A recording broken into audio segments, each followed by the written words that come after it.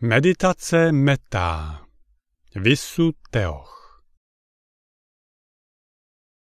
Dharma zdarma. Vydalo občanské združení Dharma zdarma v roce 2023. Úvod. Metá je pálíské slovo, které znamená dobrou vůli, milující laskavost, přátelství, schovývavost. Meta je opakem nenávisti, zloby a zášti. Meditace meta velmi pomáhá v omezení našich neprospěšných tendencí směřujících k nenávisti a hněvu a v rozvíjení a posilování prospěšných stavů mysli, jako je trpělivost, tolerance, klid, dobrá vůle, milující laskavost, schovývavost a přátelství. Buddha nás vždy nabádal, abychom kromě meditace vypasaná, tedy meditace vhledu, praktikovali metá jako jedno ze čtyř božských dlení. Další božská dlení jsou karuna, soucit, mudita, oceňující radost a upekha, vyrovnanost. Nabízíme zde jednoduchou instrukci, jak rozvíjet meditaci metá. Zkuste ji prosím dělat denně v sedící pozici jako formální meditaci a také v každé chvíli během svých každodenních aktivit. Když tak učiníte, přinese vám to v životě velké zlepšení. Vaše naladění bude stále vřelejší, laskavější, přátelštější, chápavější, trpělivější, nápomocnější a šťastnější a více milující. Za prvé, vyzařování metá. Můžete sedět buď v pohodlné meditační pozici se skříženýma nohama na meditačním polštáři na zemi, nebo se můžete posadit na židli.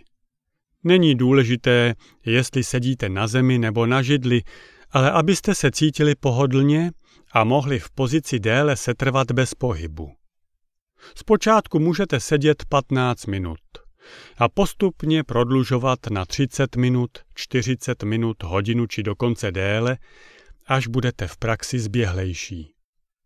Začněte metá tím, že si budete v duchu, v mysli opakovat následující verše, které vyjadřují dobrou vůli a přání vřelosti osobě, které metá posíláte. Když vyzařujete sami na sebe, říkejte si, kéž jsem šťastný, šťastná, Kéž jsem v bezpečí, kéž jsem v klidu, kéž jsem zdravý, zdravá, kéž se o sebe šťastně starám.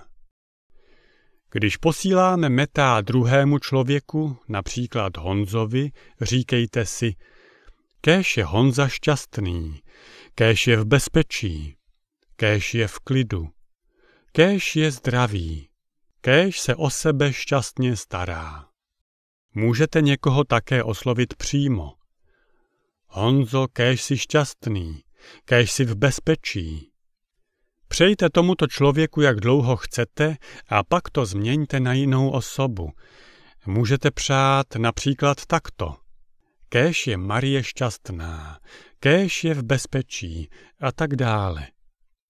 Když máte chuť přejít k někomu dalšímu, pokračujte k dalšímu člověku, například – ať je Richard šťastný, ať je v bezpečí a tak dál. Můžete vyzařovat na jednoho člověka, samozřejmě také na sebe, po delší dobu, třeba po celé sezení, nebo můžete osoby střídat, chvíli na jednu a pak na druhou. Můžete také myslet na více lidí a spojit je do skupinky a přát jim. Ať jsou šťastní, ať jsou v bezpečí. Můžete také vyzařovat na úplně všechny bytosti a v duchu si říkat, kéž jsou všechny bytosti šťastné, kéž jsou v bezpečí. Pokud vyzařujeme po celé sezení na jednu nebo na všechny bytosti, naše soustředění, samádhí, se může hodně prohloubit, protože nemusíme myslet na to, kterou osobu dále volit. I když s postupující praxí zjistíme, že i při časté změně osoby můžeme rovněž dosáhnout stavu hlubokého soustředění. Někdy si místo recitování pěti veršů můžete jen myslet, kéž je ten člověk šťastný, kéž je tam ten člověk šťastný. Neexistuje jeden správný způsob. Když se vám chce recitovat všechny verše, dělejte to. Když ne, jenom si říkejte, kéž je šťastný, kéž je šťastná. Můžete také pro někoho vytvořit speciální přání podle toho, co si myslíte nebo vidíte, že by mohl, mohla potřebovat. V případě, že někdo trpí vážnou nemocí, můžete si přát. Kéž se uzdraví, kéž dokáže dobře snášet své utrpení, kéž se rychle a zcela uzdraví. A když se nebude moci uzdravit, kéž se dobře vyrovná s utrpením, kéž má dost duševní síly, trpělivosti a odolnosti. A tak dále. Můžete také pomyslet na jeho blízké a přát jim.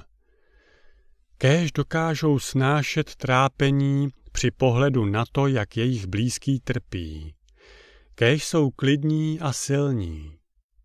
Když říkáme, kéž se uzdraví, myslíme nejen na uzdravování těla, ale také mysli, protože když je tělo nemocné, tak se mysl považuje za zdravou tehdy, když nemocný situaci přijal a smířil se s ní. A lidská mysl je schopná se uzdravit z mnoha mentálních zranění a útrap. Můžete také samozřejmě vyzařovat na svého manžela, manželku nebo partnera, partnerku a přát jim, ať je šťastný, šťastná, ať je v bezpečí, a také říkat, kéž ji, ho, miluji opravdově a hluboce. Kéž se o ní, o něj dobře starám. Protože chceme svého muže nebo ženu, partnera, partnerku, milence, milenku milovat co nejlépe, vylepšovat naši lásku, růst a učit se, jak být ještě lepším a silněji milujícím partnerem. Opravdovou a hlubokou lásku můžeme definovat mnoha způsoby. Být věrný, dávat najevo vděčnost a ocenění, porozumění, umět si odpouštět, pečovat o sebe navzájem, pomáhat si a vzájemně se podporovat na duchovní cestě. Stejně tak zahrneme do naší praxe metá naše děti, rodiče, prarodiče, sourozence, všechny členy rodiny, příbuzné a blízké přátele. Řekněme, že chcete mít s někým dobrý pracovní vztah. V takovém případě můžete na druhého myslet tímto způsobem. Kéž je ti dobře. Kéž máme spolu dobrý vztah. Kéž se nám dobře spolupracuje. Kéž je mezi námi mnoho dobré vůle a harmonie. Kéž společně pracujeme pro dobro všech živých bytostí. Jestliže přejeme sami sobě, kéž jsem šťastný nebo šťastná, můžete mít také určité přání. A protože chcete, aby se vám vaše přání splnila, můžete učinit přece vzetí. Kéž mám důvěru a víru v sebe a v dhamu. Kéž jsem trpělivý, trpělivá. Kéž mám sílu, důvěru a odvahu čelit všem výzvám života. Kéž se cítím soustředěný, soustředěná na všechno, co dělám. Kéž jsem pracovitý, pracovitá, usilovný, usilovná a ukázněný, ukázněná. Může to být cokoliv, co je na místě a dává v tu chvíli smysl. Takže někdy můžete jenom opakovat pět metá veršů nebo jen jeden nebo dva z nich. Jindy můžete přidat speciální předsevzetí a poté, co je učiníte, se můžete opět vrátit k původním veršům.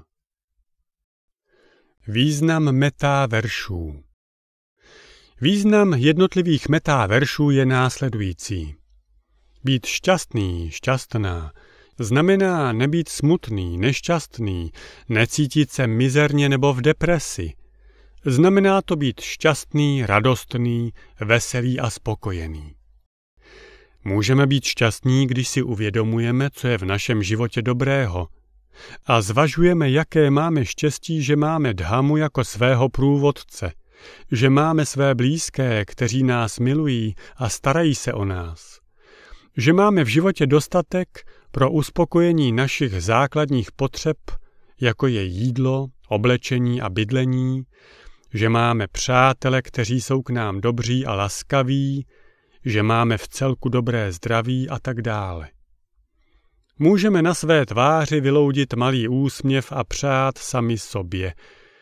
Ať je mi dobře. Úsměv nám pomůže cítit se rychle lépe a veseleji. Být v bezpečí znamená být prostý nebezpečí a škod zevnitř i zvenčí. Vnitřní nebezpečí se týká naší mysli, když se vymkne kontrole a působí nám utrpení.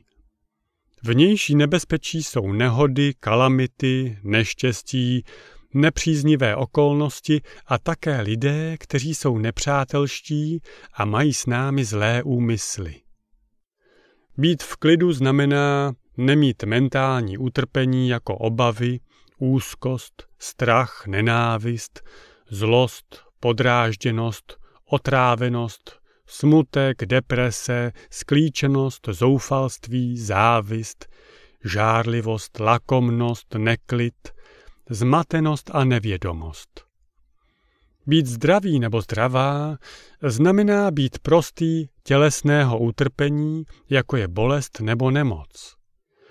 Víme ale, že nemůžeme být bez tělesného utrpení stále a občas musíme čelit nemoci a někdy dokonce smrti. V době, kdy musíme čelit nemoci a smrti, si přejeme, abychom jim byli schopni čelit klidně, smířlivě a s dobrou náladou a přitom se snažíme najít cestu k vyléčení. Takže si přejeme, abychom byli tak zdraví, jak jen to jde. Starat se o sebe šťastně znamená pečovat o svou mysl a tělo. Starat se o svou práci, úkoly a povinnosti, aby je člověk mohl dobře vykonávat. Starat se o své vztahy, kultivovat je a pečovat o ně tak, aby byly co nejvíce zdravé, šťastné, laskavé, plné porozumění, smysluplné, prospěšné a konstruktivní. Pečovat o všechny další stránky svého života. Síla metá Meditace meta je způsob, jak kultivovat milující laskavost vůči všem bytostem v našich myslích a srdcích. Když vyzařujeme metá, cítíme se lépe jednoduše proto, že se osvobodíme od pocitů nenávisti, zlosti, zlé vůle, nepřátelství, zatrpklosti a nahradíme je láskou a dobrou vůlí. Studie ukazují, že meditace přináší pozitivní změny v mozku. Když vyzařujeme metá, vytváříme nervovou cestičku v mozku, která se časem změní v dálnici, pokud budeme cestou metá pokračovat. Protože tyto metá neurony budou dále přibývat, můžeme si představit, jak mysl, mozek, sama směřuje k dobré vůli a milující laskavosti jako opaku, nenávisti a zlosti. I když rozvíjení dobré vůle je správné a pozitivní, někdo se může zeptat, jestli jsou tato přání praktická a realistická. Protože se nemohou úplně uskutečnit, nebo nikdo nemůže být v životě úplně bez utrpení, nebo být šťastný úplně pořád. Je pravda, že v životě musíme přijímat a čelit určitému množství utrpení. Přesto je ale prospěšné přát dobro. Posílání metá můžeme přirovnat k modlitbě za dobro pro sebe a pro ostatní. Znamená to, že si přejeme být šťastní do té míry, do jaké můžeme. Metá bude směřovat naši mysl a mozek směrem ke štěstí a k rozvíjení prospěšných postojů, které vedou ke štěstí. V přání je mentální síla, vliv a proto může přinést pozitivní výsledky. To, jestli se pozitivní výsledky dostaví, záleží ale i na naší karmě. Přesto ale platí, že když přejeme ostatním dobro, posíláme jim pozitivní vibrace a to může na ně mít kladný vliv. Kdo ví, jak výrazně mohou tyto vibrace a mentální energie v podobě metá přispět k tomu, že se druzí cítí lépe, duševně i tělesně. Přesné, dvojitě zaslepené studie, provedené ve dvou amerických nemocnicích v San Francisku v roce 1998 prokázaly, že ti nemocní, za které se někdo modlil, se uzdravovali rychleji a měli méně komplikací než ti, za které se nikdo nemodlil. A navíc ti, za které se někdo modlil, o tom vůbec nevěděli. V Koreji byli zase výzkumníci ohromeni zjištěním, že z žen, které se snažili otěhotnět, na ginekologické klinice byly ty, za které se někdo z dálky modlil, dvakrát úspěšnější než ty ostatní. Lidé také zjišťují, že poté, co posílali metá lidem, se kterými měli problémy, se jejich vztah s nimi výrazně zlepšil. Lidé obvykle po pravidelném praktikování metá ve svém každodenním životě prožívají šťastnější stavy mysli a navíc si osvojují moudřejší životní postoje.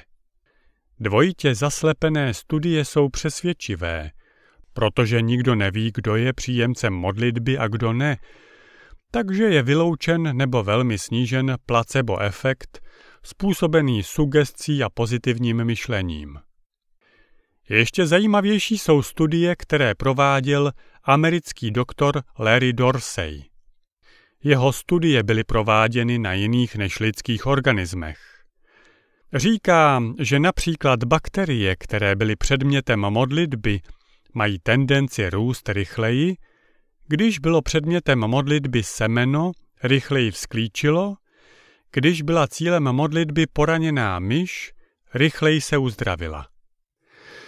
Mám ty studie rád, protože jsou velmi přesné a vylučují jakýkoliv vliv sugestce a pozitivního myšlení. Takže si můžeme být jisti, že výsledky nejsou způsobeny placebo efektem. Myši, semena a mikroby pravděpodobně nemyslí pozitivně, dodal doktor Dorsey. Botanik Luther Burbank je přesvědčen, že kromě vědeckých poznatků je hlavním tajemstvím při zlepšování pěstování rostlin láska.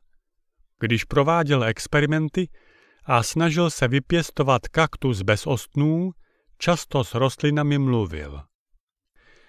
Nemáte se čeho bát, říkal jim. Nepotřebujete ostny na obranu, ochráním vás. Postupně se tato pouštní rostlina objevila i ve formě bez ostnů. Japonský výzkumník Masaru Emoto zjistil, že i voda reaguje na modlitbu a pozitivní myšlení. A to tak, že vytváří krásné krystalické vzory. Je-li vystavena negativním a nenávistným myšlenkám, stane se přesný opak. Toulající se mysl Když vyzařujete metá, mohou se objevit různé myšlenky. Mysl se může různě zatoulat, ale to je v pořádku. Jen si všimněte, že se mysl zatoulala a přiveďte ji zpět k vyzařování metá. Postupně se bude toulat méně a bude zůstávat ve stopě metá. Dávejte pozor, abyste se při posílání metá jedné osobě nezapletli do myšlenek na ní. Držte se tématu vyzařování metá a opakujte metá verše. I když si příležitostně můžete vzpomenout na dobré věci, které vám ten člověk prokázal, šťastné chvíle, které jste spolu strávili, takže můžete cítit vděčnost nebo přímo tomu člověku v duchu říci Děkuji ti za tvou laskavost a za tvé přátelství, za všechno, co si pro mě udělal, udělala. A pak přát, Kéž je šťastný, šťastná a tak dále. Někdy si můžete při vyzařování metá všímat svého těla. Můžete cítit přítomnost svého těla. doteky těla, zadku s podložkou, nohou, rukou a tak dále. Čas od času si také můžeme všimnout, jak je na tom naše mysl. Můžete zaznamenat, když metá verše plynou hladce a jak se mysl stává klidnější, stišenější a hlouběji ponořená do meditace. Můžete docela jasně vidět, jak mysl spočívá v klidu. Pokud se budete cítit unavení opakováním metá veršů, nebo zjistíte, že s jejich recitací mysl sama přestává, můžete spočívat všímavostí u těla a mysli. To může být sklidňující a uvolňující. Pak, když je mysl připravená, může pokračovat ve vyzařování. Co se týče bolesti a tlaku v těle, nemusíte je zaznamenávat tak, jak to děláte při meditaci vypasaná. Můžete pokračovat ve vyzařování metá a bolest jen tolerovat nebo ignorovat. A po nějaké době možná sama zmizí. Ale když je bolest nesnesitelná a rušivá, můžete vždycky všímavě změnit pozici a pohnout nohama nebo tělem a pocítit úlevu. A pak pokračovat ve vyzařování. Pokud se vám bude při vyzařování metá zdát sezení na židli pohodlnější, tak si ho samozřejmě zvolte. Když vyzařujete metá, můžete si zpočátku představit obraz člověka a cítit, jak metá k němu proudí. Vizualizace ale není nutná. Praktikujte ji jen tehdy, pokud vám to pomáhá. Nejdůležitější je dobré přání, které posíláte člověku, jehož jste si pro svou praxi metá vybrali. Metá verše můžete recitovat rychle nebo pomalu, jak vám to vyhovuje. Zpočátku můžete recitovat pomalu a říkat Kéž je Honza šťastný, kéž je v bezpečí. A pomalu procitovat význam těch slov, ale po nějaké době, když budete chtít, můžete zrychlit. Pokračujte tempem, které vám vyhovuje, pomalým, rychlým či středně rychlým. I když při rychlejším recitování neprocitujete význam jednotlivých slov, už jste porozuměli jejich významu a opakováním veršů vyjadřujete dobrou vůli. Proto můžete rychlost přizpůsobit podle potřeby. Podobně jako když řídíte auto – Chvíli jedete rychle, pak pomaleji. Praktikujte metá způsobem, který se vám líbí a je vám příjemný. Povede to k příjemnému a klidnému stavu mysli. Není na to žádné pevné pravidlo. Mysl se mění. Někdy jí vyhovuje tento způsob, někdy zas jiný. Můžete být kreativní, Můžete experimentovat a uvidíte, jak to půjde. Není jeden daný způsob, ale mnoho stylů, jak praktikovat metá. Typy lidí Je mnoho druhů lidí, kterým můžete posílat metá. Naší nejbližší rodině, příbuzným, přátelům, učitelům, lidem, kteří k vám byli laskaví, i když je to už dlouho, a ke kterým cítíte vděčnost. Lidem, které neznáte dobře, ale výdáte je a také lidem, se kterými nemáte dobrý vztah. Lidmi, se kterými nemáte dobrý vztah, mohou být ti, kteří vás nemají rádi, nebo vás považují za nepřátele, i když z vaší strany nechcete někoho považovat za nepřítele, ale jen za někoho, s kým jste měli potíže. Také to mohou být lidé, se kterými jste měli konflikt v minulosti nebo máte konflikty nyní. Také ti, kteří vás nějakým způsobem zranili. Ale my jim chceme přát vše dobré, necháme odešlé odejít a chceme vyzařovat metá a dobrou vůli pro všechny bytosti bez výjimky. Důležité je, že když přejeme druhým dobro, je to vždycky prospěšný druh dobra – ne štěstí, které je na úkor druhých a ubližuje jim, ale štěstí, které pochází z lásky a laskavosti. S tímto předpokladem a porozuměním pro vás bude snadnější vyzařovat na tyto problematické osoby. Když se musíte setkat nebo musíte jednat s problematickým člověkem, můžete mu přát. Kéž je mu dobře, kéž je jí dobře. Kéž se náš vztah zlepší, kéž spolu lépe vycházíme a tak dále. Pokud cítíte, že ta osoba má potřebu se nějak změnit, můžete si přát. Kéž se změní k lepšímu pro své vlastní dobro. Kéž se změní tímto nebo jiným způsobem. I když víme, že ve skutečnosti nemůžeme nikoho změnit.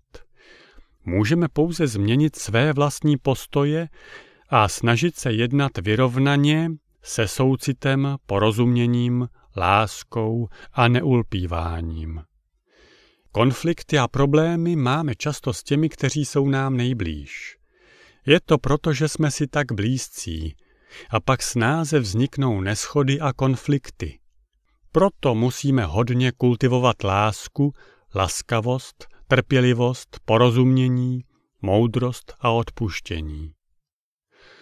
Pokud vám bude připadat obtížné posílat metá někomu, s kým máte potíže, můžete to odložit na jindy, kdy se na to budete cítit připraveni.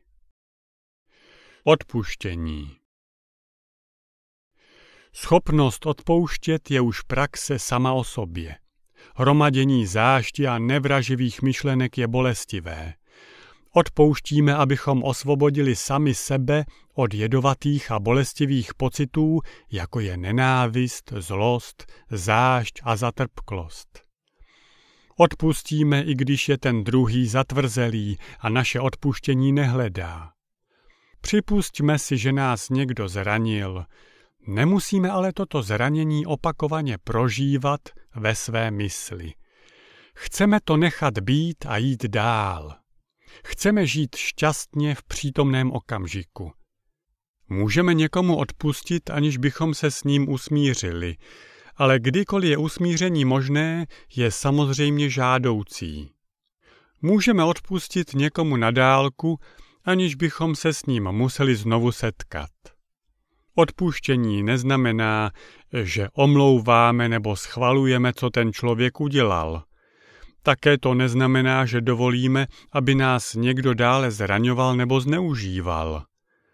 Můžeme se s tou osobou přestat stýkat nebo podniknout potřebné kroky, abychom chránili sami sebe a svou důstojnost.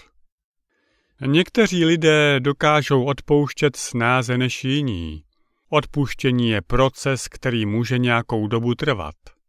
Ale když na tom budeme pracovat, budeme pokračovat v moudrém uvažování, které nám pomůže nechat jít. Zjistíme, že zranění se postupně zmenšuje. Nakonec uvidíme, že jsme odpustili.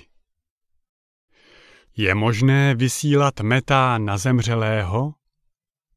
Ano, proč ne? V buddhismu věříme, že člověk, který zemřel, se někde znovu narodil. Tak si můžeme pomyslet, kéž je ten člověk, ať je teď kdekoliv, šťastný, v bezpečí. Směřujeme tak metá k bytosti, která je pokračováním osoby, která zemřela. Ani v tomto jednom životě nejsme nic jiného, než neustále měnící se osobnost, která se mění od mládí až do smrti. V každém okamžiku. Naše meta pro někoho nemusí skončit jeho nebo její smrtí.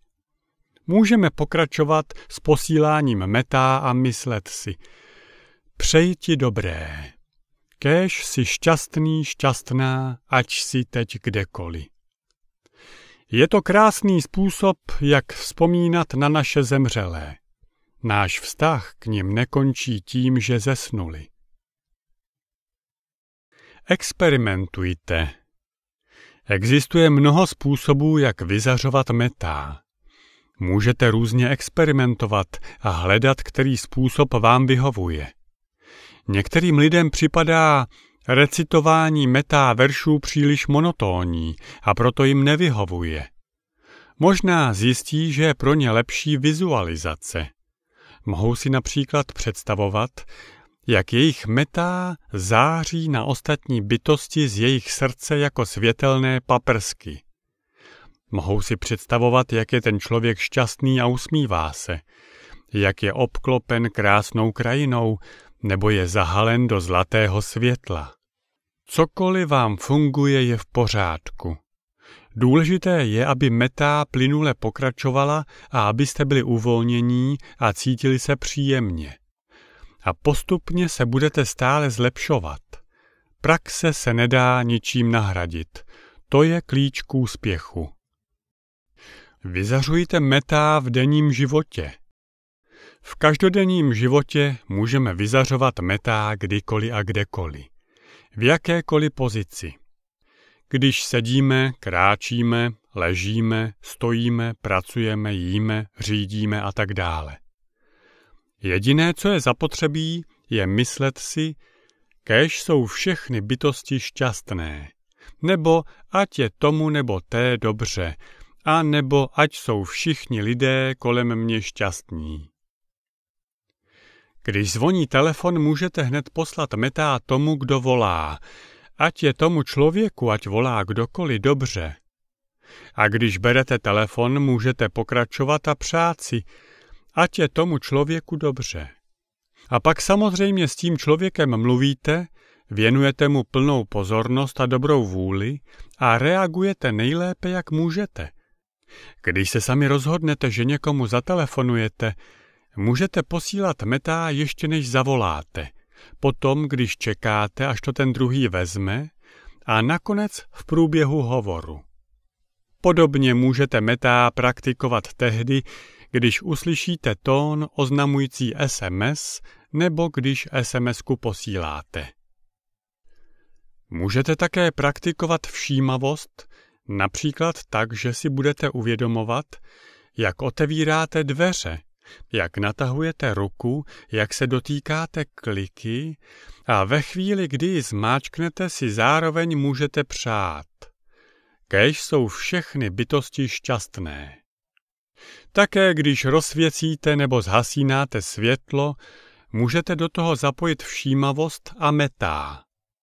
Všímavost, když natahujete ruku a přání, když mačkáte vypínač. Kéž jsou všechny bytosti šťastné. Když vidíte obrázek na stěně nebo na poličce, můžete přát lidem, kteří jsou na obrázku, ať jsou šťastní.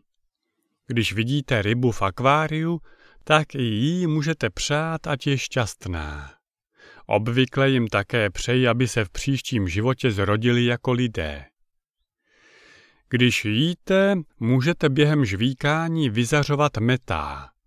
Také když se koupete, míjete, čistíte si zuby, sedíte na záchodě, mícháte si kávu a tak dále.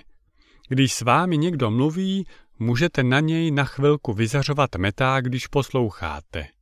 Kdykoliv vám během dne někdo přijde na mysl, můžete mu nebo jí okamžitě přát dobro.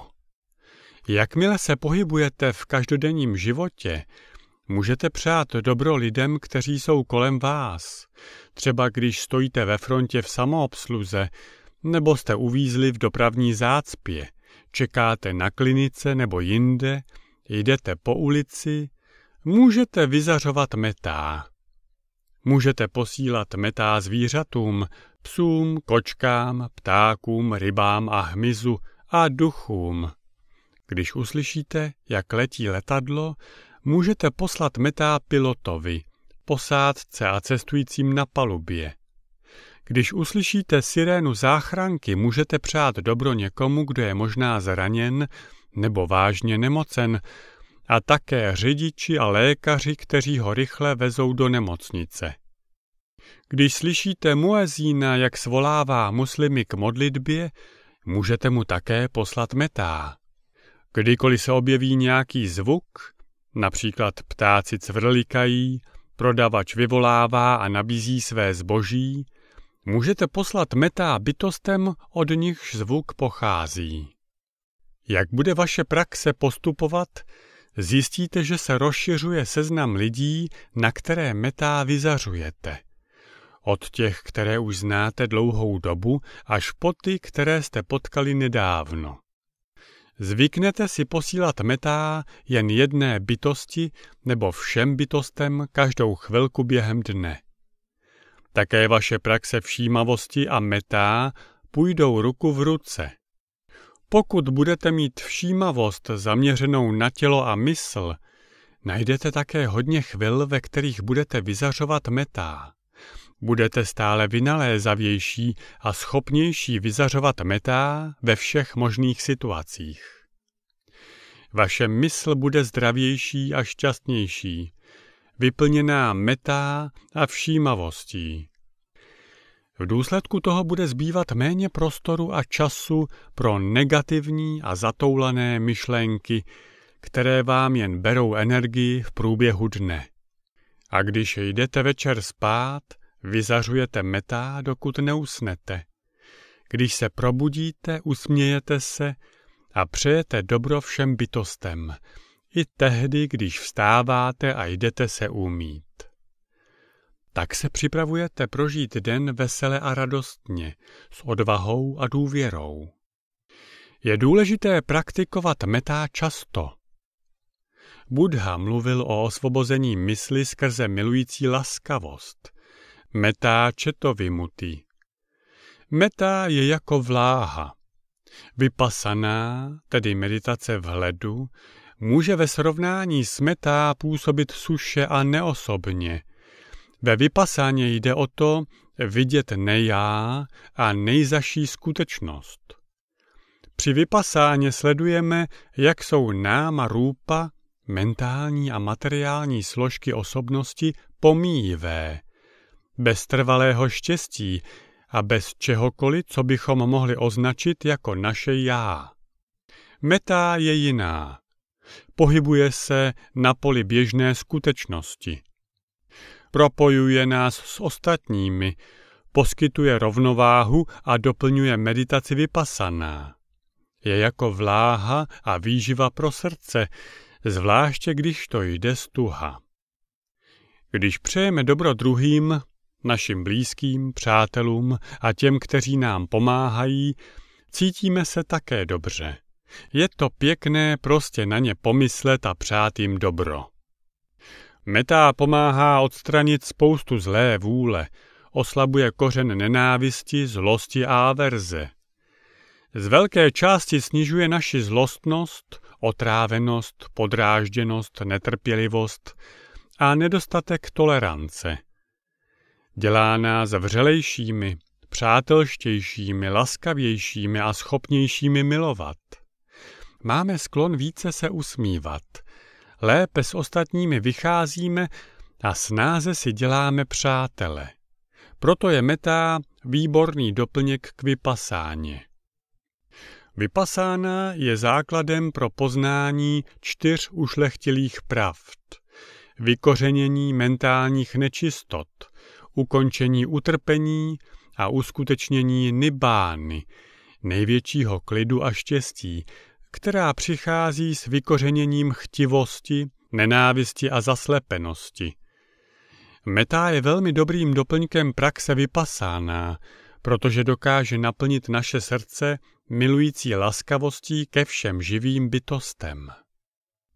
Metá, milující laskavost, je jednou ze čtyř Brahma Vihár, božských dlení, takže kromě metá ještě ve vhodných situacích rozvíjíme soucit, sdílenou radost a vyrovnanost.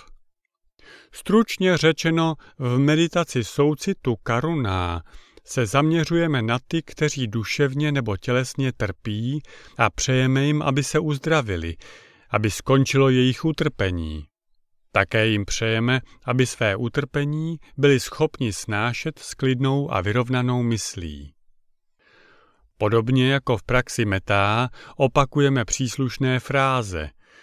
Můžeme samozřejmě přát i sami sobě, abychom se uzdravili a osvobodili od utrpení.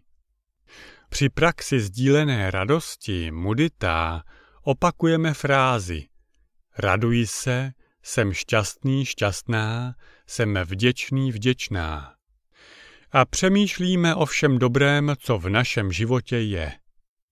Když zaměříme svou mysl na výčet toho, co je ve vašem životě dobré, budete překvapeni mnoha věcmi, za které můžete být vděční. Pak pomyslete na ostatní, kteří mají štěstí v tom či jiném ohledu a říkejte, raduj se z toho. Jsem šťastný, šťastná, že to máš. Někdy můžete dodat, kéž to nestratíš, kéž se ti nadále daří. Pro praxi vyrovnanosti u PK si opakujte jeden nebo více z následujících výrazů. Kéž jsem vyrovnaný, vyrovnaná, kéž jsem v klidu. Kéž spočívám v míru, jsem otevřený, otevřená, vyrovnaný, vyrovnaná a klidný nebo klidná. Jsem přijímající, vyrovnaný, vyrovnaná a klidný, klidná. Jsem klidný, klidná, stišený, stišená, v míru, uvolněný, uvolněná. Kéž vidíme vznikání a zanikání jevů s vyrovnaností. Kéž jsem v míru sám nebo sama se sebou i se světem. Kéž jsem vyrovnaný, vyrovnaná vůči osmi pozemským stavům. Těchto osm je zisk a ztráta, radost a bolest, chvála a hanna, sláva a špatná pověst. Máme velké štěstí, že máme tyto úžasné praxe, které nám mohou pomoci zkrášlit náš život. Kéž žijeme plni radosti, klidu a s rozkvétající milující laskavostí, soucitem a se všemi hodnotami, které jsou nám drahé a stávají se požehnáním ve světě. Za druhé, pozitivní přání. Mít vnitřní sílu, odvahu a odhodlání, nenechat se zastrašit, mít důvěru sám v sebe, ve vlastní upřímnost, etické jednání a dobrotu, ve vlastní odhodlání držet se v životě určitých hodnot a mít jistotu, že jsme schopni čelit výzvám a obtížím života tak, že z nich výjdeme posílení a moudřejší, to jsou hodnoty, které si přejeme zahrnout do svého života. Pozitivní afirmace fungují na stejném principu jako meditace metá. Vytvoříte si fráze týkající se toho, jací chcete být a opakujete si je pro sebe. Když to děláte, programujete a podmiňujete si mysl, aby se stávala takovou, jakou ji chcete. Vetkáváte do svého mozku nové pozitivní cestičky. Stáváte se tím, na co myslíte. Opakování přání vás bude podmiňovat tak, že budete v životě jednat způsobem, který bude formovat vaši mysl směrem, kterým chcete. Podobně jako vyzařování metá mohou být pozitivní přání praktikována ve formální meditaci, sedíte a v duchu si recitujete fráze pro sebe, jak dlouho chcete, třeba celou hodinu, pokud slova klidně plynou. Když se ponoříte do meditace, je to velmi příjemné, protože mysl spočívá ve stišeném a sklidněném stavu. Kromě formálního sezení můžete tyto fráze recitovat pro sebe kdekoliv a kdykoliv, když se věnujete svým běžným denním aktivitám. Kombinace formální a běžné praxe může jen posílit vaše vnitřní rozhodnutí stát se tím, kým chcete. Níže jsou některé příklady pozitivních frází. Je to samozřejmě na vás, abyste si vytvořili vlastní, které pro vás budou smysluplné a odpovídající. Věřím si a mám důvěru v sebe a v proces života. Myslí se tím proces života, kterým člověk prochází a cestou se učí a roste. Mám důvěru, odvahu a sílu čelit všem výzvám a obtížím života. Budu žít s radostí a lehkostí, se světlem v srdci, tedy bez napětí a přehnaného úsilí. Budu žít bez obav a úzkosti, Negativní, tíživé a nedovedné myšlenky vykážu ze své mysli. Na svá omezení se budu dívat s lehkostí a s humorem, bez sebe nenávisti. Také zvážím, jak tato omezení překračovat. Přestanu reagovat zlostně.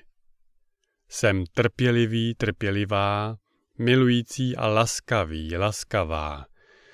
Jsem trpělivý nebo trpělivá, dokážu čekat, dokážu mnohé tolerovat a vydržet. Budu to zkoušet dál a nevzdám se. Jsem odolný, odolná, dokážu trpět, nebojím se utrpení. Dokážu snést hodně utrpení, když je to nutné. Mám vnitřní sílu, rovnováhu a schopnosti. Budu všem dobrým a opravdovým přítelem. Jsem trpělivý, trpělivá, všímavý, všímavá a klidný, klidná.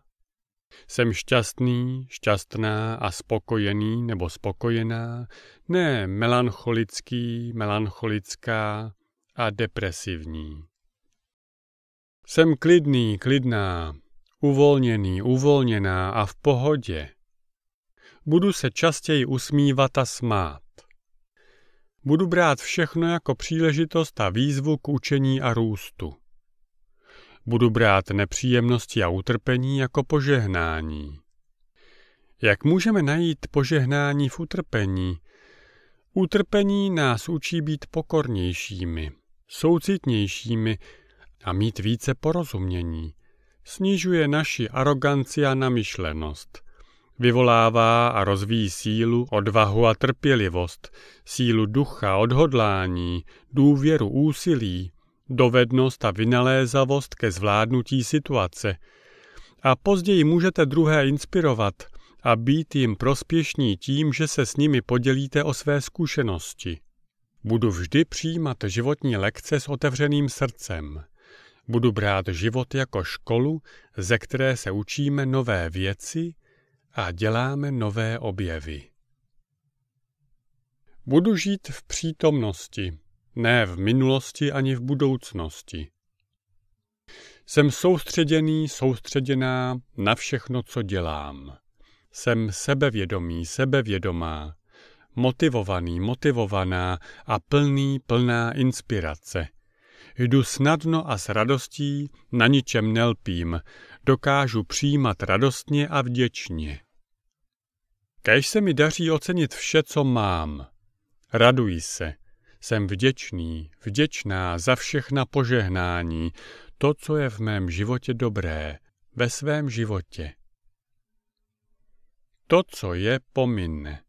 Budu se zas cítit lépe.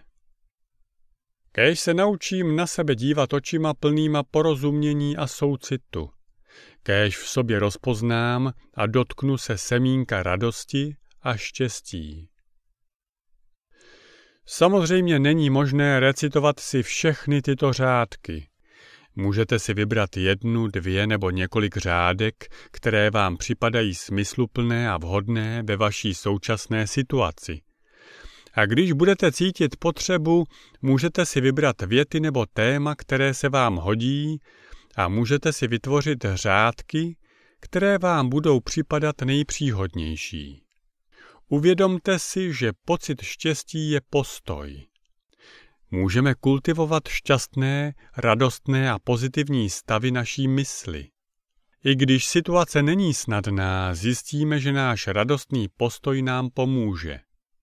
Uvědomíme si, že klid a štěstí jsou spíše vnitřními stavy mysli a že se můžeme rozhodnout být šťastní, bez ohledu na to, co se děje. Zároveň si uvědomíme, že druhá možnost, být nešťastní, není vůbec volbou pro nás, a tak jsme rozhodnuti být šťastní, ať se děje cokoliv. Naučíme se ocenit, že vlastně neexistuje cesta ke štěstí, ale že štěstí je samo cestou. Měli bychom hodnotit sami sebe a to, jak jsme v životě úspěšní, na základě moudrosti, kterou jsme v životě nabili a hodnot, podle kterých žijeme. Měli bychom sami sebe hodnotit podle toho, čím jsme uvnitř. Podle soucitu, který jsme v životě rozvinuli a toho, co jsme v životě dosáhli. Neměli bychom sami sebe hodnotit na základě majetku, který jsme v životě nahromadili, nebo podle našeho postavení a slávy. Pokud děláme to nejlepší, co můžeme, neměli bychom o sobě smýšlet špatně, ale dobře. Jsem jen jedna, ale jsem. Nemohu udělat všechno, ale mohu udělat něco. A neodmítnu udělat to, co udělat mohu. Helen Keller Moje vůle bude utvářet mou budoucnost. Jestli prohraji nebo uspěji, nebude dílem nikoho jiného, ale mým vlastním. Sám jsem tou silou. Jsem ten, který může odstraňovat překážky, a nebo se může ztratit v mlze. Je to moje volba, moje zodpovědnost. Vyhrát nebo prohrát. Jen já držím klíč ke svému osudu. Elaine Maxwell Nezáleží, jak úzká jsou vrátka, ani kolika tresty mi hrozí zákony a spisy. Jsem pánem svého osudu a kapitánem své duše. William Ernst Henley Měj trpělivost s každým, nejvíce však sám se sebou. Nenech se odradit svými nedostatky, ale vždy se znovu vzchop s novou kuráží. Není lepší způsob, jak něčeho dosáhnout v duchovním životě, než že budete začínat znovu a znovu a nikdy si nemyslet, že už jste udělali dost. Saint François de Sales Za třetí. Cesta, po níž se můžeme dát. Denně utvářím sám sebe tím, kým jsem. Vždycky připomínám sobě i ostatním, že praxe je hlavně to, jak reagujeme v každém okamžiku, jak udržujeme ve dne i noci svou mysl a srdce v dobrém rozpoložení tak často, jak jen to je možné. A proto se musíme snažit kultivovat následující stavy mysli. Klidný, vyrovnaný, uvolněný, stabilní, jasný, pokojný. Všímavý, vědomí si těla a mysli v přítomném momentu a toho, jak reagují.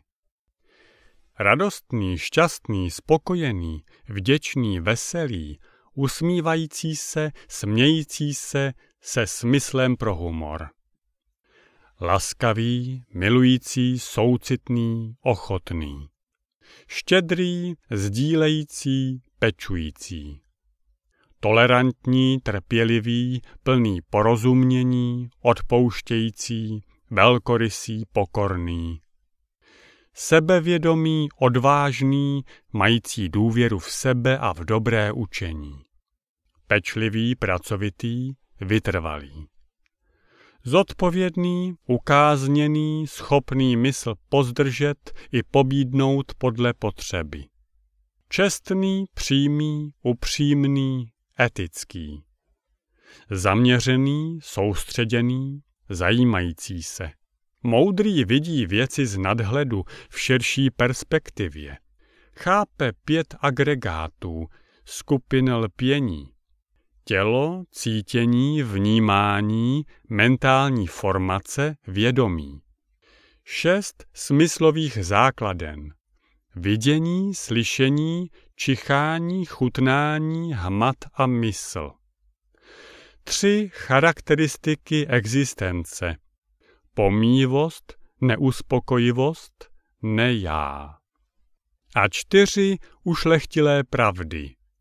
Pravda existence utrpení, pravda příčiny utrpení, pravda ustání utrpení a pravda cesty vedoucí k ustání utrpení a všechny další dovedné a prospěšné postoje a stavy mysli. Když vyvstanou nedovedné a neprospěšné stavy mysli, jako je nenávist, zlost, smutek, deprese, obavy, úzkost, strach, závist, žárlivost, lakomnost, mentální neklid, zmatenost, nevědomost. Všimneme si jich, snažíme se zůstat v klidu a s všímavostí a moudrým zvažováním překonáváme tyto neprospěšné stavy a měníme je na prospěšné. Skrze podmiňování a směřování mysli u ní vytváříme návyk, aby po většinu času se trvávala v prospěšném stavu, tedy veselá, klidná, všímavá, laskavá, milující, štědrá, chápající a moudrá. Za čtvrté. V životě potřebujeme pěstovat radost. Často si myslíme, že radost vznikne sama od sebe spontánně a že s tím nemůžeme dělat nic nebo jen velmi málo. Domníváme se, že radost závisí čistě na vnějších podmínkách a vlivech. To se ale velmi mílíme. Radost je něco, co můžeme tvořit. Můžeme pěstovat radost. Dokud nebudeme veselí skoro pořád, prostě to ani nebudeme umět jinak. Můžeme mysl rozvíjet tak, aby byla radostná i tehdy, když čelí obtížím. Jak to můžeme udělat? Je to jen otázka postoje a přístupu. Může se zdát, že postoj je jen maličkost, ale dokáže v našem životě způsobit velké změny. Na počátku se musíme rozhodnout, že budeme pěstovat ve svém životě radost. Musíme si uvědomit, že potřebujeme kultivovat radostné rozpoložení naší mysli a radostný postoj k životu. A že pokud jsme tedy ještě nezačali, musíme takový postoj rozvíjet ode dneška. Jaké jsou postoje vedoucí k radostnému rozpoložení mysli? Ze začátku to zkuste s úsměvem. Rozvíjejte návyk usmívat se. Usmějte se. Usmívejte se často. Usmějte se, když posloucháte tuto zvukovou nahrávku. Všimněte si, že se ve chvíli, když se usmějete, začnete cítit lépe. Usmíváte se jen a jen proto, abyste se cítili lépe. Ve chvíli, kdy se probudíte, můžete se usmát a přát dobro sami sobě. Kéž jsem šťastný, šťastná. A druhým, kéž jsou všechny bytosti šťastné. Usmívejte se, když jdete do koupelny. Usmějte se, když se podíváte do zrcadla a řekněte si, tady vidíš člověka, který je zodpovědný za tvůj život. Pak převezměte odpovědnost za svůj život. Neobvinujte druhé, že vás činí nešťastnými. Nedovolte jim, aby způsobili, že budete zahořklí, skleslí, nabručení a deprimovaní. Tento svět zdaleka není dokonalý. Mnohé věci v něm nejsou správné. Je to jen na vás, abyste si vytvořili vlastní radost. Jak to udělat? Je mnoho lidí, k nímž můžete být laskaví, přátelští a dobří. Buďte laskaví k co nejvíce lidem. Učiňte z laskavosti svou praxi. Udělejte si z laskavosti svůj životní styl. Laskavost je cesta ke štěstí. Vypěstujte si zvyk posílat druhým úsměv. Úsměvem způsobíte, že se budou rychle cítit lépe dva lidé. Vy a člověk, na kterého jste se usmáli. Úsměv je známkou přátelství, je také projevem laskavosti. Může druhého povzbudit a způsobit, že se uvolní, cítí se lépe a i vám úsměv způsobí radostné rozpoložení mysli a nestojí to vůbec nic. Jaká škoda, že spousta lidí zapomněla na jednoduché umění úsměvu. Je to snadný a levný způsob, jak vytvořit příjemný stav mysli. Poslechněte si písničky. Bez úsměvu nejste nikdy dokonale oblečeni. You are never fully dressed without a smile. A usmívej se, i když tě bolí srdce. Smile though your heart is aching. Můžete si je najít na YouTube a díky nim oceníte hodnotu úsměvu. Praktikujte laskavost v myšlenkách, tedy přejte druhým dobro, slovy, tedy mluvte laskavě, jemně a používejte slova, která utěší, povzbudí a motivují. A činy. Nabídněte šálek kávy, čaje, jídlo a podobně. Darujte něco ze svých peněz a majetku, nabídněte své služby. Buďte dobrým rodičem, dítětem, sourozencem, manželem, manželkou, milencem, milenkou, zaměstnavatelem, zaměstnavatelkou, dělníkem, dělnicí, politikem, političkou, učitelem, učitelkou, vedoucím, vedoucí a tak dále. Když praktikujete laskavost, cítíte se šťastní. Také se vám ve většině případů laskavost vrací, což vás také obšťastňuje. A i když se vám laskavost nevrátí, jste stejně spokojení, že jste byli laskaví. V situacích, kdy jste nedokázali být laskaví, nebyli jste alespoň nelaskaví. Při nejmenším jste nikomu neublížili a nikoho jste nezranili, takže jste také praktikovali nenásilí a neubližování. A pořád ještě můžete poslat člověku, se kterým nesnadno vycházíte, myšlenku naplněnou metá.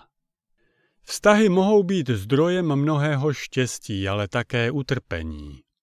Ve společnosti jsme neustále s někým ve vztahu. Proto se snažte vytvářet co nejvíce šťastných a harmonických vztahů, s co možná nejvíce lidmi je to možné. S manželem, manželkou, členy rodiny, příbuznými, přáteli, učiteli a s kýmkoliv dalším, kdo se objeví ve vašem životě. Nepříjemným lidem se vyhýbejte, jak jen můžete, protože konfliktní vztahy, které způsobují utrpení, jsou toxické a kromě toho, že ničí vaše životní štěstí, mohou vést i k onemocnění. Ale pokud se nemůžete problematické osobě, která působí utrpení, vyhnout, věnujte speciální péči své mysli. Kdykoliv se s takovou osobou setkáte nebo na ní pomyslíte, Praktikujte vyrovnanost. Kultivujte v mysli nepřipoutanost a nemějte žádná očekávání. A díky tomu už vás dále nebude moci takový člověk zraňovat. Nedovolte, aby problematický člověk nebo situace ovlivňovali vaši náladu. Když dovolíte, aby to na vás mělo vliv, budete vždy zranitelní protože ať se vydáte kamkoliv, všude narazíte na obtížné situace a lidi.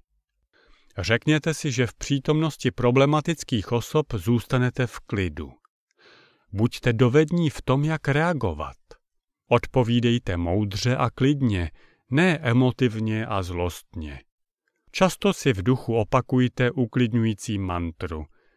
Klidný, stišený, v míru, uvolněný a mantru metá. Kéž jsou všechny bytosti šťastné, kéž je ten a ten šťastný, šťastná, kéž jsem šťastný, také já. A když se cítíte někým poškození nebo zranění, sledujte tu bolest se všímavostí a ona se zmenší. Praktikujte moudré zvažování a učte se nechat věci jít. Snažte se být vyrovnaní a nezůstávat s pocity zraněnosti nebo naštvanosti. Využívejte výzvy a obtíže k vlastnímu pokroku. Berte je všechny jako vodu na váš mlín, jako něco, z čeho se můžete poučit a vytěžit z toho moudrost. Nejsou jen negativní. Můžeme v nich najít i kladné stránky a požehnání, to dobré, když se budeme učit trpělivosti, vyrovnanosti a schopnosti reagovat moudře a dovedně. Rozvíjejte smysl pro humor, neberte se příliš vážně. Učte se vidět věci z veselější stránky a smějte se, co nejvíc můžete.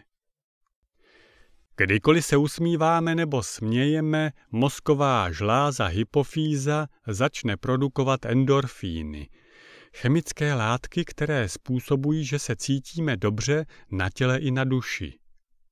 Endorfíny jsou přirozené a zdravé opiáty našeho těla. Ulevují od bolesti a vytvářejí pocit štěstí. Můj vlastní humor zahrnuje i takzvaný černý humor. K mým oblíbeným výrokům patří Neberte život tak vážně, stejně z něj nikdy nevyváznete živý. Další je Hlavu vzhůru to nejhorší teprve přijde. A nebo rozvesel se, život je krátký a brzo budeme všichni mrtví. Když přijdou těžkosti, začnu někdy uvažovat takto. To je v pořádku. Je mi už 56 let a až doteď jsem žil dobře a šťastně. Jsem se svým životem spokojený. Kdybych měl dnes zemřít, nebylo by toho mnoho, čeho bych litoval. Moje vzpomínky jsou většinou šťastné. Dokážu najít požehnání i v obdobích, kdy trpím. Život ke mně byl v celku laskavý. Už mi nezbývá příliš mnoho let. Když si uvědomím, jak čas rychle letí, budu brzo po smrti a bude to pryč. Musím být jen trpělivý a pokračovat po těch nemnoho zbývajících let, dokud nepřijde smrt, a pak to bude šťastně za mnou. Aspoň pro toho člověka v tomto životě. Pak to bude na tom, kdo přijde po mně a bude pokračovat od místa, kde jsem skončil. Jako buddhista se zde odkazují k víře ve znovuzrození. Může to vypadat jako dost pochmurný způsob, jak se dívat na život, ale občas, když o smrti takto přemýšlím, začnu se hned cítit lépe a uleví se mi. Není to tak zlé, mohu žít dál. Přemýšlení o smrti mi také pomáhá věci snáze pouštět. Když jsem byl rozlobený, uvědomil jsem si, že nemá cenu se rozčilovat. Jenom to zraňuje mě i ostatní. Je pro mě lepší udržet si vnitřní klid a rovnováhu. Spousta životních dramat se zdá být nedůležitými maličkostmi, když si připomínáme smrt. Je pak snadné nechat to plavat a jít dál. Pokud jsem připoutaný nebo připoutaná ke svým penězům a majetku, nedokážu dávat. Když přemýšlím o smrti a o tom, že si sebou do příštího života z toho, co mám, nemohu vzít víc, než sumu svých dobrých a špatných skutků, což je má karma, pak pro mě bude snadnější se o to, co mám, podělit a podarovat druhé. Když přemýšlím o smrti a o tom, jak je život krátký, chci žít smysluplný a radostný život. Nebudu chtít trávit své dny zahořklý, nabručený, ustaraný a sklíčený. Existuje rčení, které říká Nelámejte si hlavu s maličkostmi. A většina věcí, které se nám stávají v každodenním životě, jsou maličkosti. Nemá smysl nechat se jimi ničit. Je lepší nechat to být, zasmát se a pokračovat dál. A když nás zasáhnou velké věci, musíme jim také čelit s vyrovnaností. To je právě doba, kdy musíme využít veškerý vtip a moudrost, které máme. A proto rozvíjím radost a klid. Je pro mě na prvním místě, abych byl v míru sám se sebou a se světem. A abych byl ve svém přístupu k životu radostný a veselý. Chtěl bych zde ale zdůraznit, že nepopíráme utrpení v životě, rozhodně ho nechceme nějak zlehčovat. Buddha ve své první ušlechtilé pravdě říkal, že život je utrpení. Buddha ale též prohlásil, že je nejšťastnějším člověkem na světě. Proč to řekl? Protože se mu podařilo vykořenit všechnu touhu po smyslových požitcích a připoutanost k čemukoli na světě. Byl úplně spokojený a klidný. A navíc měl velký soucit se všemi živými bytostmi a od doby svého probuzení ve věku 35 let až do své smrti v 80 vyučoval lidi cestě vedoucí ke štěstí. Když se nám podaří snížit naši touhu a připoutanost, využít meditaci k rozvinutí vnitřního klidu a míru, být laskavý a soucitní, spokojit se s málem, uvědomovat si svá požehnání a kultivovat správné životní hodnoty a postoje, můžeme žít šťastněji a klidněji. Utrpení existuje, ale my víme, jak na něj reagovat s vyrovnaností a veselou myslí. Nemusíme být smutní a depresivní. Můžeme dále kultivovat radost a klid, praktikovat trpělivost, vytrvalost, laskavost, štědrost, odvahu, důvěru, důkladnost, odhodlání, poctivost, čestnost a další krásné životní hodnoty. A nezapomínejte na hodnotu úsměvu. Za páté. Z budhových rozprav. Jedenáct prospěšností meditace metá. Tak jsem slyšel. Jednou probuzený prodléval Savátý v Džétově háji a Náta Pindikově zahradě. Tehdy oslovil mnichy. Mniši, ctihodný pane, odpověděli mniši. A probuzený k ním promluvil následovně. Mniši, pokud budete praktikovat osvobození mysli pomocí milující laskavosti, pokud budete tuto milující laskavost pěstovat, rozvíjet a pravidelně praktikovat, a stane-li se vaším prostředkem a základnou, pevnou, stabilní a řádně ustanovenou, můžete očekávat jedenáct požehnání. Jakých jedenáct? Za prvé, budete spát klidně. Za druhé, nebudou se vám zdát zlé sny. Za třetí, budete se šťastně probouzet. Za čtvrté, budete milí lidem. Za páté, budete milí ostatním bytostem. Za šesté, dévy, božstva, vás budou ochraňovat. Za sedmé, oheň, jed a zbraně vám neublíží. Za osmé, vaše mysl se snadno soustředí. Za deváté, budete mít jasný a krásný výraz ve tváři. Za desáté, budete umírat beze zmatku.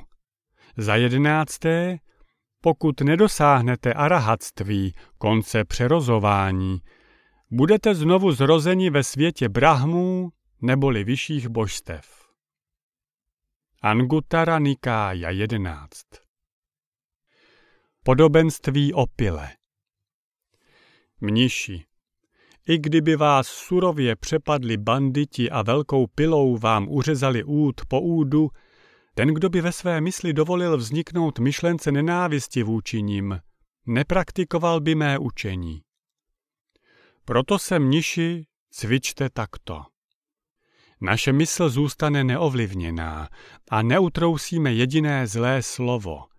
Zůstaneme vůči nim soucitní a smyslí naplněnou milující laskavostí, která je prostá jakékoliv zloby. Budeme se trvávat smyslí, která je naplněná milující laskavostí. Naše laskavost postupně zahrne celý svět a stane se nezměrnou, všeobjímající, neotřesitelnou, prostou zloby a zlé vůle. Takto byste se mniši měli cvičit. Mniši, když budete mít poučení z tohoto podobenství opile stále na mysli, umíte si představit nějakou řeč, prostou či hrubou, kterou byste nedokázali snést? Nikoli, ctihodný pane. A proto, mniši, musíte mít toto podobenství opile stále na mysli. Povede to po dlouhou dobu k vašemu prospěchu a štěstí. Ze suty číslo 21 sbírky Majhima Nikája.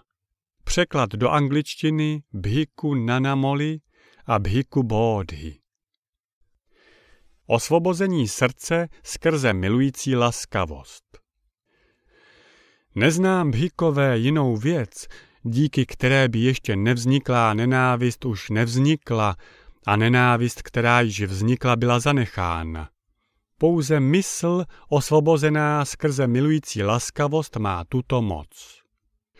U toho, kdo řádně praktikuje osvobození mysli skrze milující laskavost, nevzniklá nenávist už nevzniká a již vzniklá nenávist je zanechána. Angutara Nikája Únik před zlou vůlí Může se stát, přátelé, že mnich řekne. Zlá vůle může vstoupit do mé mysli a zůstat v ní i tehdy, když budu praktikovat osvobození mysli skrze milující laskavost, takže ji budu rozvíjet, pěstovat a praktikovat pravidelně a stane se mým prostředkem a základnou, pevnou, stabilní a řádně ustanovenou. Měli byste mu říci, tak to není. Tak to by ctihodný neměl mluvit. Neměl by špatně vykládat, co řekl probuzený. Není správné špatně vykládat slova probuzeného. Probuzený by takto rozhodně nemluvil. Přátelé, není možné a nemůže se stát, že zlá vůle vstoupí do vaší mysli a zůstane v ní, pokud budete praktikovat osvobození mysli skrze milující laskavost. Budete ji rozvíjet, pěstovat a praktikovat pravidelně, stane-li se vaším prostředkem a základnou, pevnou, stabilní a řádně ustanovenou. Právě proto je praktikování osvobození mysli skrze milující laskavost únikem před zlou vůlí. Zdhídha Nikája Sutta 33 Božský způsob žití A nechť si pomyslí, Kéž jsou všechny bytosti šťastné a v bezpečí. Kéž mají všichni šťastnou mysl. Ať mají dýchající bytosti jakoukoliv formu. Ať jsou slabé nebo silné, bez výjimky. Dlouhé, velké nebo střední, krátké, jemné či hrubé, viditelné či neviditelné, žijící blízko či daleko, zrozené nebo čekající na zrození. Kéž jsou všechny šťastné. Kéž jeden druhého nepodvádí, ani nikdo nikým nepohrdá.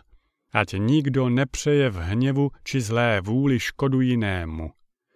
Tak jako matka by riskovala život pro své jediné dítě, nechť pěstuje ve svém srdci myšlenky plné lásky ke všem živým bytostem. Ať zcela otevře své srdce celému světu směrem nahoru, dolů a napříč, bez jakýchkoliv překážek. Ať stojí, kráčí, sedí nebo leží, po celou dobu, kdy je bdělý, by měl rozvíjet přebývání mysli v laskavosti. A toto se v skutku nazývá božský způsob žití. Zmetá suty sutanipáta. Dokonalost metá. Mniši, ať existují jakékoliv světské zásluhy, žádná z nich se nevyrovná jedné šestnáctině osvobození srdce skrze milující laskavost. Praxe milující laskavosti předčí všechny ostatní světské zásluhy svým jasem, zářivostí a pronikavostí osvobození srdce skrze milující laskavost. Hvězdy svým světlem osvětlují noční oblohu, jeho množství se ale nevyrovná šestnáctině světla z měsíce. Jasem, zářivostí a pronikavostí měsíční svit předčí světlo z hvězd. Na podzim, poslední měsíc v období dešťů je obloha jasná. Když v té době slunce stoupá oblohou, projasňuje všechnu temnotu svým jasem, paprsky a září. A stejně tak jasně svítí a září jitřenka, když se noc mění v úsvit. A podobně také můžeme nahlížet na všechny pozemské zásluhy tak, že žádná z nich se nevyrovná jedné šestnáctině osvobození srdce skrze milující laskavost. Žádná světská zásluha se svým jasem září a pronikavostí nevyrovná srdci, které je osvobozené skrze milující laskavost. Itivutaka Suta 27 Jen po dobu jednoho lusknutí prstů. Mniši, pokud mnich rozvíjí milující laskavost alespoň po dobu jednoho lusknutí prstů, může být zván mnichem, není bez džány, nese dál učení mistra, řídí se jeho radami a nejí svou almužnu nadarmo. Což teprve můžeme říci o těch, kteří ji rozvíjejí často. Angutara Nikája 1.53 Nenávist nikdy neustává skrze nenávist. Ustává jedině skrze lásku. Takový je věčný zákon. Dhama páda pět. Za šesté. Inspirující výroky moderních autorů. Jaké je srdce? Chtěli to vědět. Tak přinesli někoho, kdo zrovna zemřel a postupně otevírali její srdce. Nevěřili byste, co tam bylo. Tomu byste vážně nevěřili. Běloši, černoši, ateisté, boháči, chudáci, opilci, prostitutky, kněží, politici, soudci, basketbaloví hráči, blázni a já. Dokonce i já, jak jsem se tam dostal. Budu taky takový, až zemřu? Až otevřou mé srdce, co tam najdou? Otec Teofán, trapistický mnich. Je tolik slov a tolik krét, i cest, které se vinou, je dosti.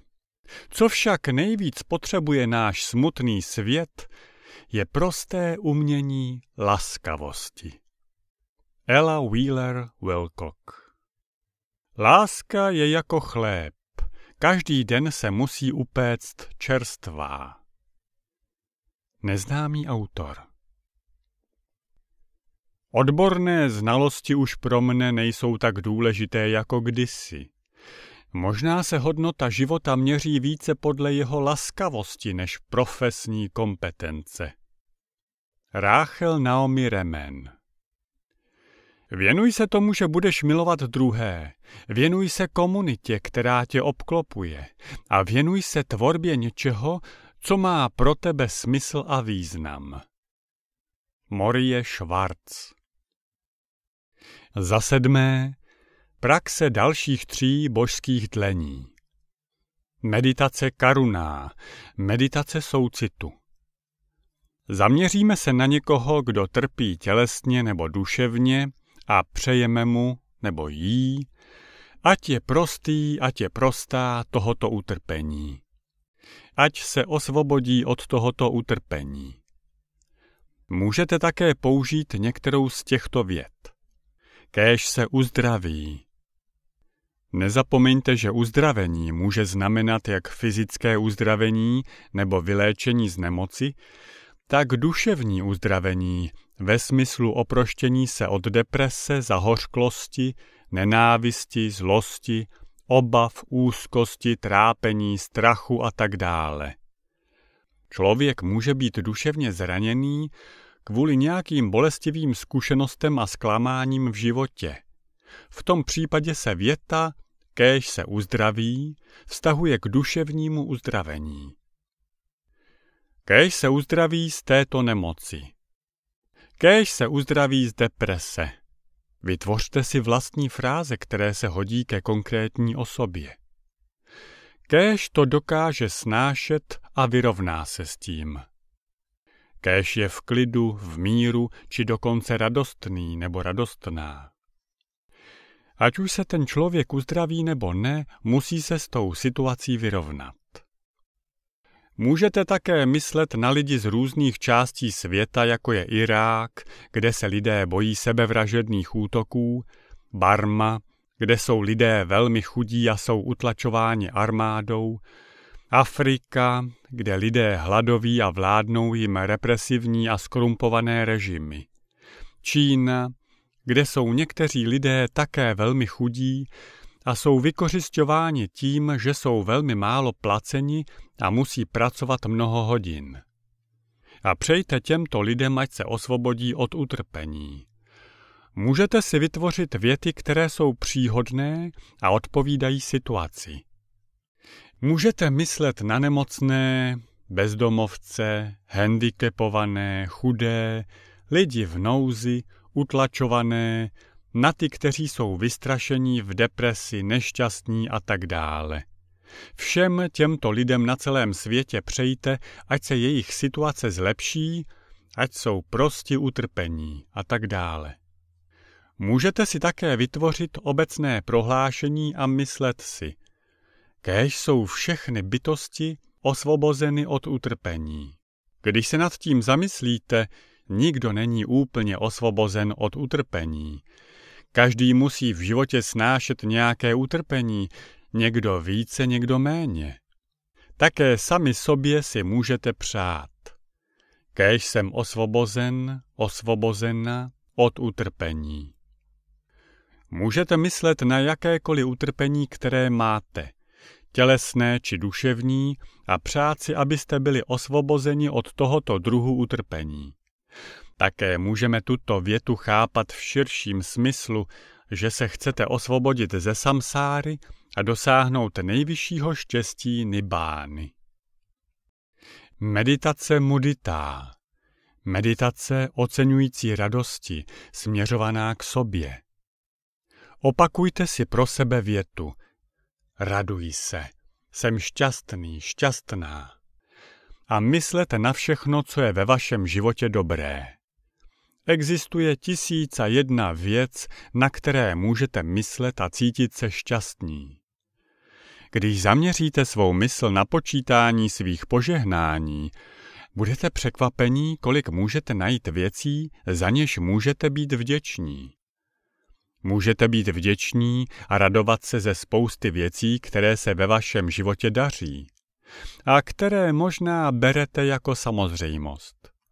Většinou máme sklon zaměřovat se na to, co se nedaří. Pokud ale přesuneme svou pozornost na to, co jde dobře, budeme se cítit lépe. Uvidíme, že to není tak špatné a že je spousta věcí, ze kterých se můžeme radovat a být za ně vděční. Myslete na své blízké a na to, jaké je štěstí, že je máte, že jste tak moc milováni, podporováni a že jsou k vám hodní. Pomyslete na své přátele a na to, kolik jste od nich dostali laskavosti, přátelství a štěstí, které vám dali. Může se stát, že máte i nějaké negativní a nešťastné zkušenosti se svými blízkými nebo přáteli. Teď se ale zaměřte na to pozitivní. Zdůrazněte pozitivní, protože si chcete vytvořit vnitřní pocit štěstí tím, že se budete radovat z pozitivních a šťastných zkušeností ze svého života. Nepopíráte ty negativní, ale přemýšlení o pozitivních vám pomáhá vyvažovat vaše pocity tak, abyste vždy nacházeli něco, z čeho se můžete radovat. Pomyslete, jaké je to štěstí a požehnání, že jste se setkali s budhovým učením, které je pro nás nezbytným průvodcem v bludišti samsáry. Bez budhova učení bychom byli ztraceni a zmateni. Nevěděli bychom, jak udržovat prospěšné stavy mysli a jak najít cestu ze samsáry do Nibány. Myslete na krásné a prospěšné kvality, jako je milující laskavost, soucit, štědrost, moudrost, trpělivost, vytrvalost, odhodlání a tak dále, které sami do určité míry máte a které dále rozvíjíte a posilujete. Nikdo vám tyto kvality nemůže vzít. Ať se děje cokoliv za všech okolností, vždy se můžete držet těchto svých vlastností. Je toho plno, za co můžeme být vděční. Máme v celku dobré zdraví, máme dostatek pro své základní potřeby. Jídlo, bydlení, oblečení a tak dále. Máme vhodnou práci, zaměstnání, máme určité dovednosti a nadání, máme inteligenci a znalosti, máme tuto vzácnou příležitost meditovat, byli jsme na různých místech a viděli jsme krásnou krajinu a tak dále. Připomeňte si přísloví. Když nemáš boty, mysli na ty, kteří nemají nohy. A i když si vzpomeneme na nějaké utrpení v našem životě, můžeme vidět jeho pozitivní stránku a mít radost, že jsme se z něj něco naučili. Třeba jak nechat věci jít, nebo jak být lepším člověkem. Také si uvědomujeme potřebu čistit svou mysl a vykořenit chtivost, nenávist a nevědomost, které jsou kořenem utrpení. Když si připomenete všechno to dobré, co je ve vašem životě, opakujte si větu. Raduj se, jsem šťastný, šťastná. Opakování této věty jako mantry sklidňuje a upokojuje mysl a navíc v nás rozvíjí radost. Ještě můžete příležitostně přidat fráze Kéž nestratím to, co mám, kéž nadále prosperuji a rozvíjím se. Prosperitou zde nemyslíme jen tu materiální, ale i prosperitu duchovní, kterou dosahujeme prostřednictvím posilování našich duchovních kvalit. Meditace muditá. Meditace oceňující radosti, směřovaná k druhým. Myslete na někoho a na to, jak je na tom dobře v tom či jiném ohledu. A opakujte větu. Jsem šťastný, šťastná, raduj se z toho. A někdy můžete dodat, kež o to, co máš, nepřijdeš, kež nadále prosperuješ a rozvíjíš se. Všichni lidé mají nějaká požehnání. Každému se daří v životě jinak. Můžete se zaměřit na jejich požehnané stránky. Řekněme, že nějaký člověk má bohatství, které vydělal a získal poctivě. Místo, abychom mu záviděli, můžeme se s ním radovat. Praxe mudita je dobrý protilék na závist a žárlivost a umožňuje nám radovat se s druhými. Tím, že se radujeme, si vytváříme štěstí pro sebe a čistíme svou mysl od neprospěšné závisti a žárlivosti. Stejně jako vy mají i druzí své blízké, které milují a starají se o ně. Mají vzájemně dobrý vztah, mají dobré zdraví, mají dostatek finančních prostředků na své základní potřeby, jako je jídlo, bydlení, oblečení a tak dále mají své schopnosti, dovednosti a nadání, daří se jim při studiu, mají dobré zaměstnání nebo úspěšnou kariéru, mají v životě dobré postavení a co je nejdůležitější, mají budhovu dhammu, nebo jiné dobré duchovní učení jako svého průvodce životem. Dobře se rozvíjejí ve svém duchovním životě, mají dobré postoje a hodnoty, které vedou ke štěstí, jsou milující, laskaví, štědří a tak dále. Když uvažujete o nějakém člověku s tím, že chcete najít něco, z čeho byste se mohli radovat, něco dobrého nebo požehnaného, vystoupí do popředí. I když má ten člověk ve svém životě nějaké utrpení, najdete nějaké stránky, ze kterých se můžete radovat. Například někdo je nemocný, ale má blízké, kteří se o něj dobře starají. Někdo jiný zase možná nemoc snáší dobře, zachovává si duševní klid, vyrovnanost a veselost a z toho se můžete radovat. Meditace u pekha. Meditace vyrovnanosti. Můžete použít následující věty. Kéž jsem vyrovnaný, vyrovnaná, kéž jsem v klidu, kéž jsem v míru. Jsem otevřený, otevřená, vyrovnaný, vyrovnaná a klidný, klidná. Jsem přijímající, vyrovnaný a klidný. Jsem přijímající, vyrovnaná a klidná. Upekha, upekha, vyrovnanost, vyrovnanost. Jsem klidný, stišený, v míru, v pohodě, uvolněný. Jsem klidná, stišená, v míru, v pohodě, uvolněná. Kéž jsem vyrovnaný, vyrovnaná ve správnou dobu. Kéž sleduji vznikání a zanikání věcí s vyrovnaností. Kéž jsem vyrovnaný, vyrovnaná s osmi světskými stavy. Kéž kráčím hladce i po tom, co hladké není. Kéž jsem v míru se sebou a se světem. Všechny bytosti jsou vlastníky své karmy. My všichni jsme vlastníky své karmy.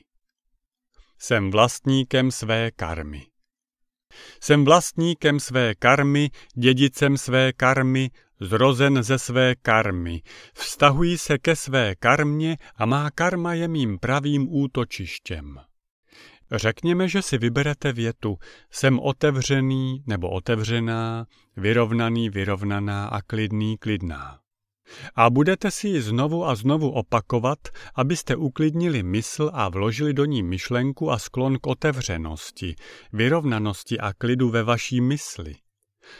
Co myslíme otevřeností? Nabízí se mnoho interpretací tohoto slova. Chápu ho jako otevřenost ke všem změnám, nejistotám, úspěchům a ztrátám v životě. Ať se stane cokoliv, chci být otevřený a přizpůsobivý.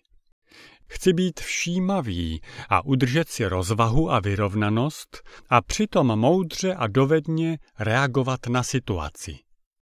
Co se myslí tím být přijímající?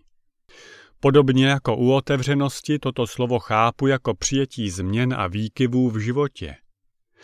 Otevřít se jim a chtít růst a učit se skrze životní zkušenosti a pracovat na tom, abychom odstranili žádostivost, nenávist a zaslepenost, které jsou příčinou utrpení. Může to také znamenat přijetí svých vlastních omezení, nedostatků a nedokonalostí. Neměli bychom k sobě cítit nenávist a zároveň bychom se měli snažit nebýt na sebe moc přísní, neodsuzovat se, ale být k sobě laskaví, něžní, soucitní a mít se sebou trpělivost. Všichni se snažíme zlepšovat a stát se lepšími lidmi. Musíme si uvědomovat své dobré vlastnosti. Už jsme dobří a snažíme se být ještě lepšími.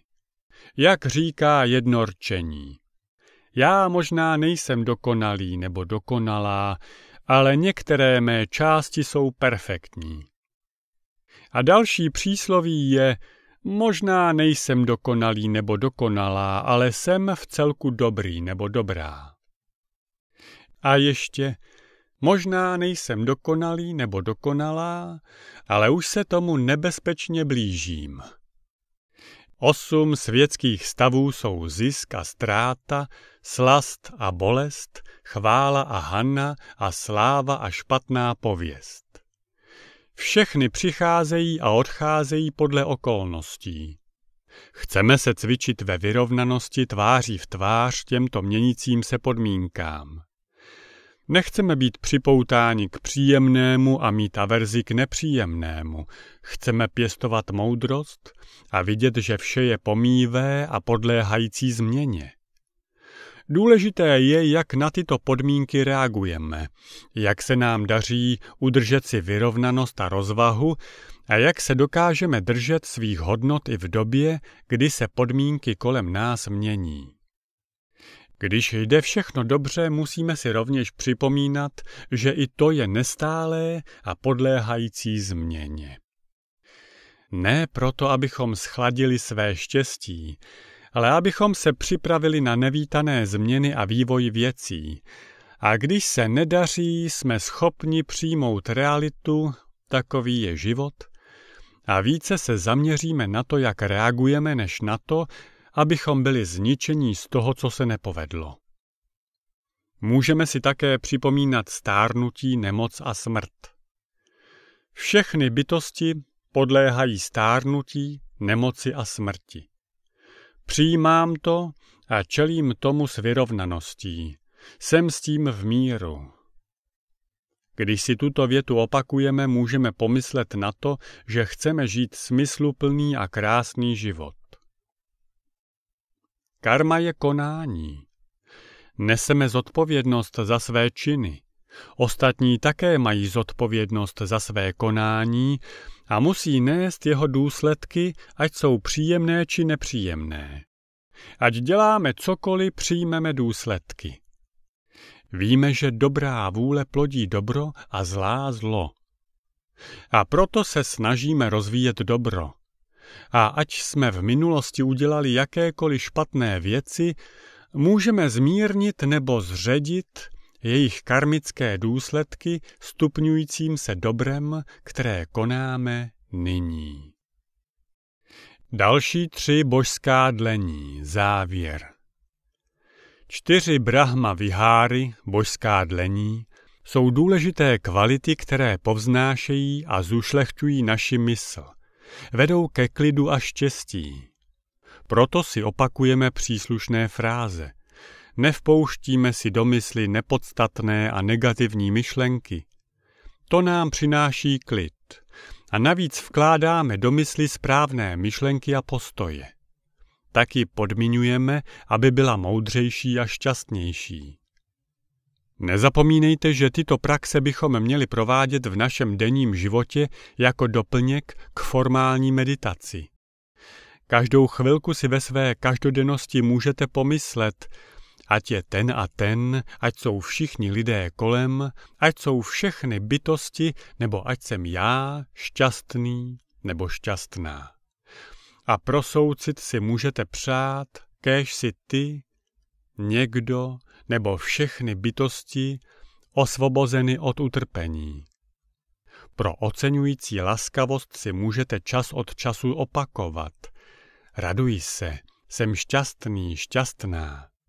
A myslete na něco, na cokoliv, z čeho můžete mít radost.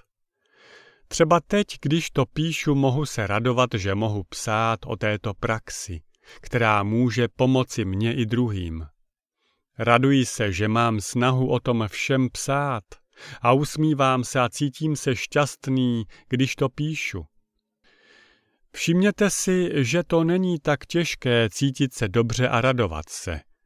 A co se týče vyrovnanosti, občas si můžete říct, kéž jsem vyrovnaný, vyrovnaná, kéž jsem v klidu a míru abyste si připomněli, že chcete udržovat vyrovnanost a rovnováhu ve svém životě. Navíc můžete myslet na budhovo učení, na čtyři ušlechtilé pravdy, tři charakteristiky existence, pět skupin lpění, šest smyslových základen a tak dále. To vám pomůže žít dobře a šťastně s porozuměním a uvědoměním si našeho konečného cíle dosažení nibány – neboli ustání utrpení a uskutečnění nejvyššího klidu a štěstí. Licenční poznámka Autor Visuteoch, překlad Markéta Černá, namluvil Luboš Pavel. Jazyková korektura Dalibor Pavlík, Tomáš Vystrčil. Produkce Dalibor Pavlík. Předtiskové úpravy Jana Laštovka, Věra Mlečková. Grafická úprava a obálka Jana Laštovka. Malba na obálce Zdeněk Spour. Zdroj YouTube kanál Jižní buddhismus. Vydal zapsaný spolek Dharma zdarma v roce 2023. Milí diváku, milí posluchači. V Budhově době neexistovala žádná autorská práva. Budhovo učení se šířilo zcela volně a nikdo přitom neměl obavy, že autorská práva poruší. Přáli bychom si, aby se Budhovo učení mohlo šířit ve stejném duchu i dnes. Přáli bychom si, aby si kdokoliv mohl toto video z našeho YouTube stáhnout a dál ho mohl bez starostí kopírovat, šířit a distribuovat. Proto jsme na celé video, včetně audionahrávky a všech obrázků, aplikovali licenci Creative Commons Uveďte původ. Celý název licence je Creative Commons Uveďte původ 4.0 mezinárodní. Odkaz na licenci je https dvojtečka lomeno lomeno creative www.org lomeno licenses lomeno by lomeno 4.0 lomeno deed.cs. A to je všechno. Nyní si můžete toto video z našeho YouTube stáhnout a můžete ho jakýmkoliv způsobem šířit. Například si ho můžete nahrát na svůj vlastní YouTube kanál, Facebook, Spotify nebo kamkoliv jinam. Licence Creative Commons jsou krásný nástroj, který umožňuje svobodné šíření jakéhokoliv díla.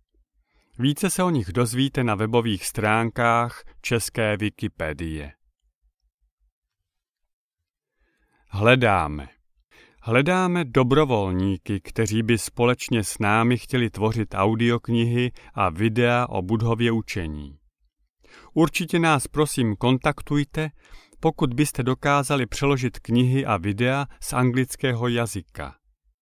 Uvítáme také, pokud dobře čtete a měli byste zájem některé naše překlady namluvit. A jestliže máte nějaký vlastní tvůrčí nápad, určitě si jej rádi vyslechneme. Náš aktuální e-mail najdete na našich webových stránkách nebo na našem YouTube kanálu v záložce informace.